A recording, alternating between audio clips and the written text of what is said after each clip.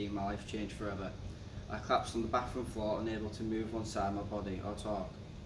I woke up during the night feeling unwell and very dizzy, but thought it went. I, thought I just might as well go back to sleep and it might go. I woke up again, just gone past seven, and I still felt sick. The dizziness got, was worse, and I had a strange feeling down my right side. I managed to get up off the floor, and I managed to get myself to the bathroom where I collapsed.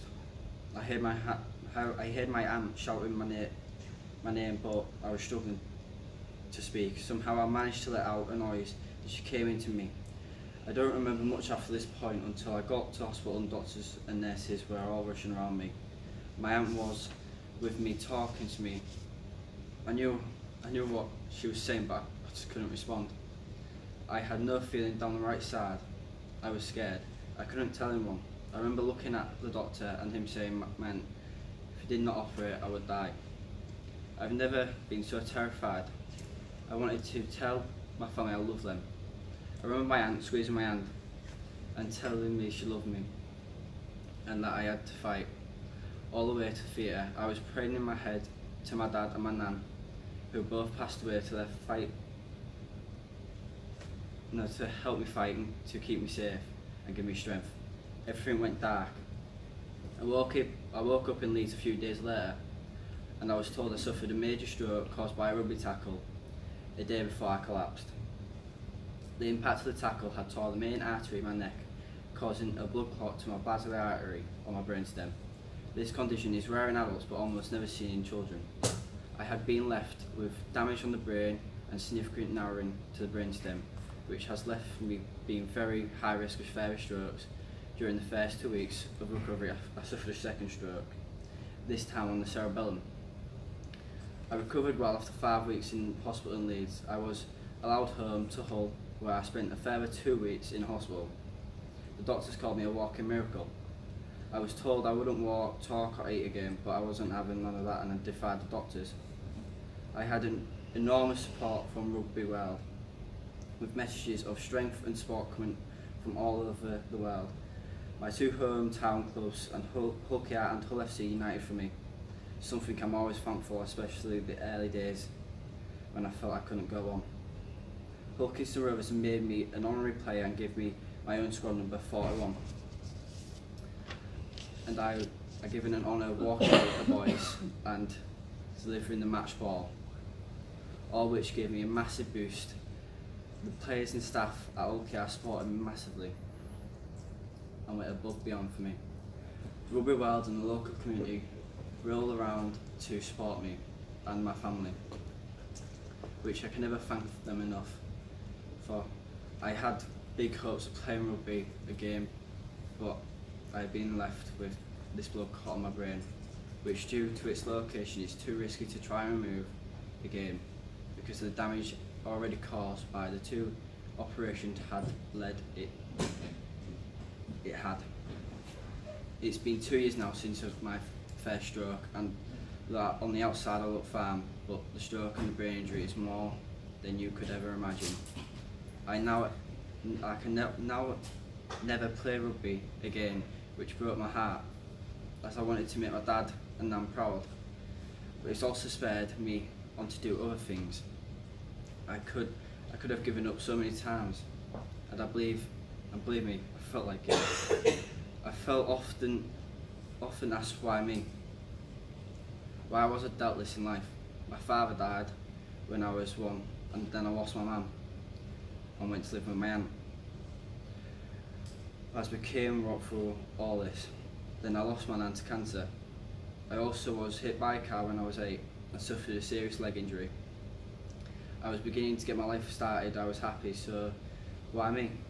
The words, he will die, will stay with me forever. I've learned not to take life for granted, though I struggle daily with neurofatigue, learning difficulties and memory loss, and motor and vocal tics, and also anxiety and panic attacks. Seizures and stroke symptoms are invisible consequences of brain injury.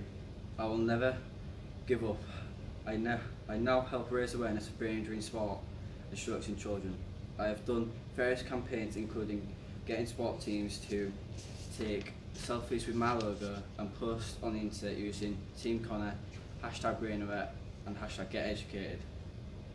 The whole thing went viral with professional and amateur people getting involved. I made my own stroke awareness video which has been seen by thousands of people on Twitter and Facebook and been shared hundreds of times hoping to raise awareness that kids that kids also have strokes too. I've brought out my own rugby shirt, scrum caps, rubber balls and I have recently raised money for a £16,000 sensory station to be brought over from the US and Life for a Kid, a local charity from Hull who I am very proud patron of who support children with life-limiting illnesses and disabilities have offered me my own office to help use the station and help children with brain injuries, including stroke and autism. By supporting them, Stinson Station and hopefully help them to improve visions, reactions and so much more. I'll be the first in the UK to have this, this sensory station and hope it will help lots of children and adults. I have also won loads of awards for my bravery, including the Stroke Association Child of Courage and Yorkshire Young Achiever and Yorkshire Choice Award for my charity work. I am now patron of Life for a Kid and I volunteer at the Stroke Association in Hull. I have my own charity where I raise funds for other charities so far I have raised over £20,000 for charity. I am still involved in rugby and coaching the under 10s and help out up with my old team on a Sunday, it's it's a learning style still watching your mates doing something you loved, and now not being able to go on that pitch with them many times. I've watched and sit and cried at what brain injury and strokes have taken away from me. I am no longer able to go out alone as I forget things, and I am high risk of further strokes. And I thought of having one and if I'm all alone it's very scary. I now need constant supervision, it's hard. I'm slowly being allowed to do light exercise and rehab. I have now returned to school full time due to problems I have, but I have recently just started college doing sport. I am not allowed to do contact sport at college but the college are more than willing in to have me do the course and now about my issues and encourage me so more. I also have an educational healthcare plan in place for at college. In the, in, the, in the last two years I have had to relearn things I learned in primary school. I've had to learn to swim again as well ride a bike. I was told by school I wouldn't sit my GCSEs but despite only two hours a day I managed to do four exams and even managed to get C in science. I have a lot of work. I have a lot. I have a lot to work on, but it gave me an idea where I was educational wise. I have come so far in my journey, and believe me, I struggle every day and every night. I go to bed knowing I'll face the same fight the next day, but I'm lucky. I'm here fighting. Doc I'm here fighting. Doctors still don't know my prognosis because of the narrowing and the blood clot on my brain. And I didn't give me much of a chance of survival, so every day is precious. I can't change the past and the horrors of that day, but I, I can change the future. And I now want to help others by raising awareness. I now have new dreams, new hopes, and now seeing other people smile makes me happy. I will always be intensely grateful for the support I have received. And if my story helps one person, there is life after stroke and not to give up, then I'm happy. The Stroke Association have supported me and my family so much and gave me my confidence back. When I attended the Life After Stroke Awards last year, I was shy and barely spoke. But with the, other, with the help of the Life After Stroke team, I got up on stage and made a little speech.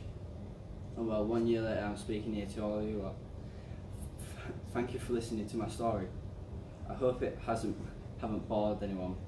Please, please enjoy the rest of the day and thank you for supporting the show station.